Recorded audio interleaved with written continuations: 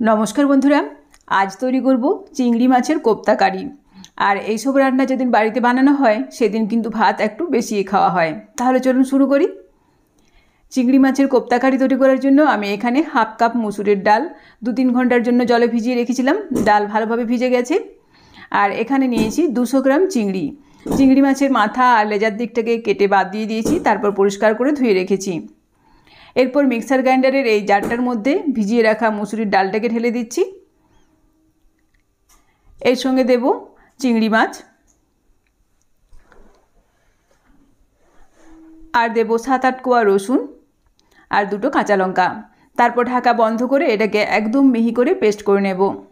এই দেখুন, সমস্ত কিছুর মিহি পেস্ট তৈরি করে নিয়েছি। তারপর আমি একটা বাটির মধ্যে ঢেলে নিলাম। এরপর এর মধ্যে দিচ্ছি পরিমাণ মতো লবণ আর দেব অল্প হলুদের গুঁড়ো। এর সঙ্গে দেব দু চামচ বেসন। তারপর সমস্ত কিছু ভালোভাবে মিশিয়ে দেব।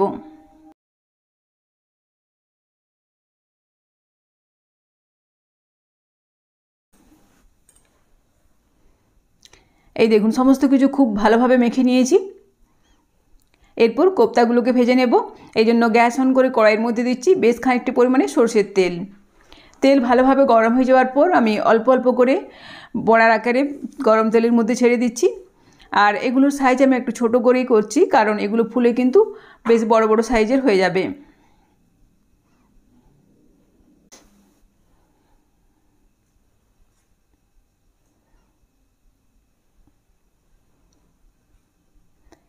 একটা দিক ভাজা হয়ে গেলে আমি উল্টে দিচ্ছি।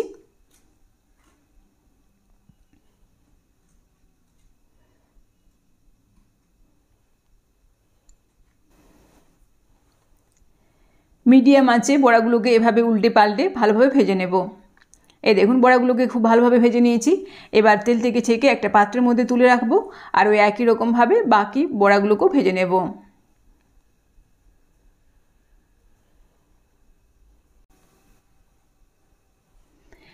এরপর ওই তেলের মধ্যেই আমি টুকরো করে কাটা আলুগুলোকে ছেড়ে দিচ্ছি। এর মধ্যে দিচ্ছি অল্প লবণ আর দেবো অল্প হলুদের গুঁড়ো। তারপর মিডিয়াম আঁচে আলুগুলোকে বেশ ভালোভাবে ভেজে নেব।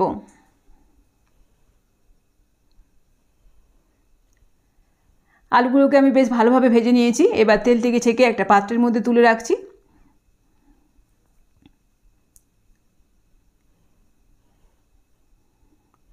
তারপর কড়াইয়ের মধ্যে যেটুকু তেল রয়েছে, তার মধ্যেই ফোড়নের জন্য দিচ্ছি একটা তেজপাতা আর দুটো শুকনো লঙ্কা। ফোড়নটাকে কিছুক্ষণ নাড়াচাড়া করে ভাজা ভাজা করে নেব। তারপর এর মধ্যে দেব দুটো মিডিয়াম সাইজের পেঁয়াজ বাটা। পেঁয়াজ বাটাটাকে প্রথমে কিছুক্ষণ ভেজে নেব।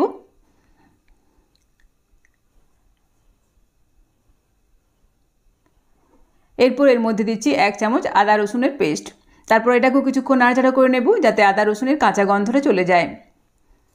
পেঁয়াজ, আদা, রসুন ভেজে নেওয়ার পর এর মধ্যে দিচ্ছি দুটো মিডিয়াম সাইজের টমেটো কুচি। তারপর একটুখানি নাড়াচাড়া করে নেব।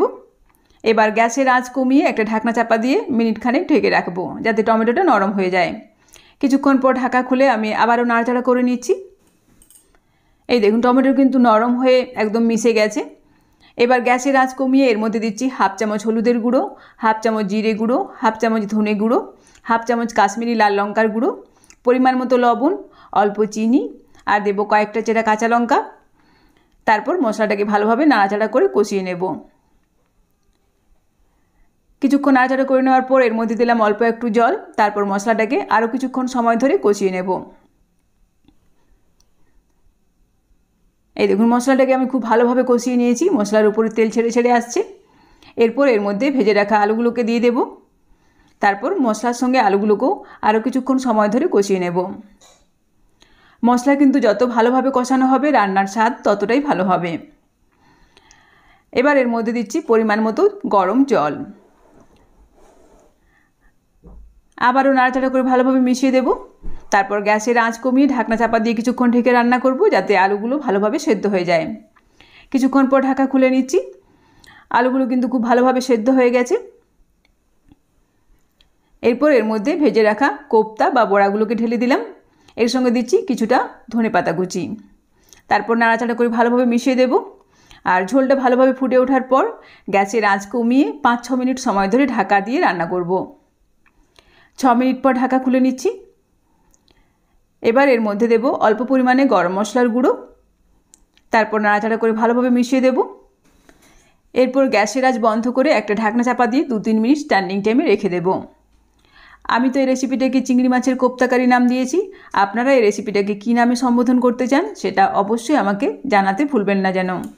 আর এইভাবে একবার আপনারও বাড়িতে বানিয়ে গরম ভাতের সঙ্গে পরিবেশন করুন, এটা খেতে কিন্তু দারুণ লাগবে। ভিডিওটি ভালো লাগলে অবশ্যই লাইক শেয়ার এবং কমেন্ট করে জানাবেন। ভালো থাকবেন, সুস্থ থাকবেন।